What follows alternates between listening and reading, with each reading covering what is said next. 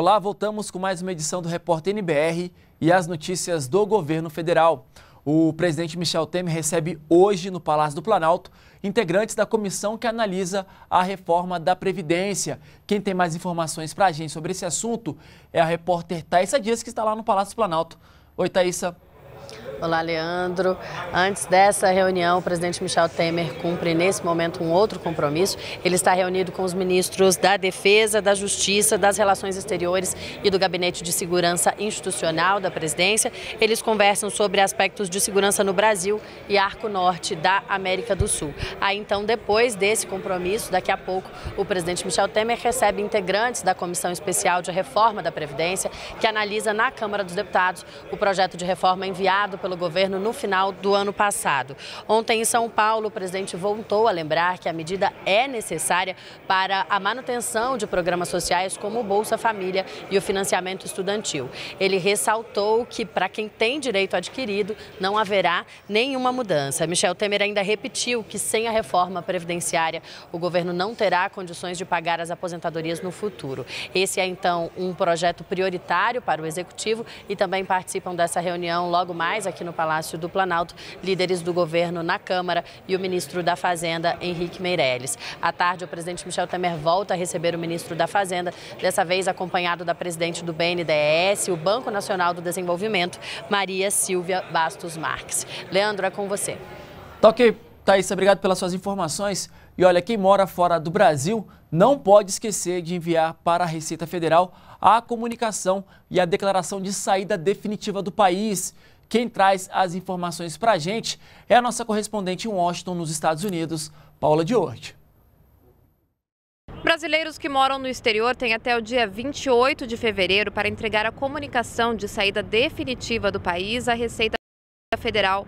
Devem entregar os brasileiros que saíram do país de maneira definitiva em 2016 ou de maneira temporária em 2015 e acabaram ficando por mais tempo. Além da comunicação, eles devem também entregar a declaração de saída definitiva para a Receita Federal. O prazo para entregar a declaração é do primeiro dia útil de março até o último dia útil de abril. Quem não entregar esses documentos continua obrigado a prestar a declaração do imposto de renda no Brasil. E a penalidade para quem não fizer isso é a mesma de quem não presta a declaração do imposto de renda. Para entregar os documentos, basta acessar o site da Receita. De Washington, nos Estados Unidos, Paola Diorte. Olha, quem enviou a, a, comunicação e a declaração para a Receita não precisa apresentar os documentos enquanto estiver morando no exterior e nem declarar imposto de renda no Brasil. E o limite de financiamento de imóveis com recursos do FGTS foi ampliado em todo o país. Vamos ver na reportagem de Ney Pereira. O novo limite de um milhão e meio de reais para financiamentos com recursos do FGTS só é permitido para imóveis novos contratados entre 20 de fevereiro e 31 de dezembro deste ano.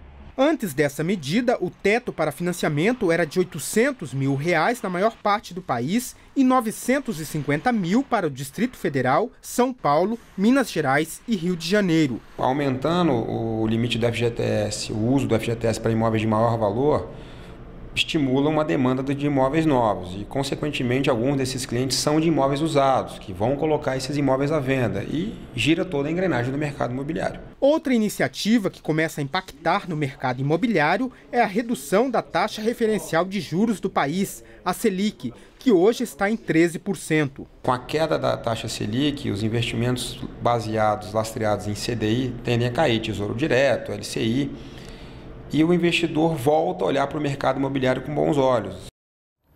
Profissionais de saúde e assistência social de todo o Brasil podem se inscrever em um curso que vai ajudar a prevenir o uso de drogas. Quem traz as informações para a gente ao vivo é a repórter Mara Quinupo. Oi, Mara, mais uma vez. Oi, Leandro, é isso mesmo. Olha, o curso é de graça e oferece 25 mil vagas na área de prevenção ao uso de drogas. Podem se inscrever profissionais de saúde e assistência social de todo o país. O curso é à distância e quem participar vai cumprir uma carga horária de 150 horas num período de quatro meses. Ah, quem concluir o curso também vai receber certificado de extensão universitária emitido pela Unifesp, a Universidade Federal do Estado de São Paulo. A iniciativa é fruto de parceria entre o Ministério da Justiça e Segurança Pública e a Unifesp. As inscrições ficam abertas até 13 de março e podem ser feitas pela internet, pelo endereço eletrônico supera.senad.gov.br. Volto com você, Leandro. Tá ok, Mara, obrigado pelas suas informações. E olha, o governo quer reforçar as ações para prevenir a chamada gripe aviária no país. O ministro da Agricultura está em São Paulo para fechar um acordo com o setor. Da capital paulista, José Luiz Filho tem os detalhes. A instrução normativa para melhorar a prevenção à gripe aviária será assinada durante uma reunião entre o ministro da Agricultura, Pecuária e Abastecimento, Blairo Maggi, e o presidente executivo da Associação Brasileira de Proteína Animal, o ex-ministro da Agricultura, Francisco Turra. O encontro será aqui na sede da entidade, na zona oeste da capital paulista. A intenção é reforçar e atualizar o programa de gestão de risco, baseado em vigilância epidemiológica e adoção de vacinas para estabelecimentos avícolas considerados de maior risco de introdução e disseminação de vírus e outros agentes no plantel avícola brasileiro. E nós ficamos por aqui. Música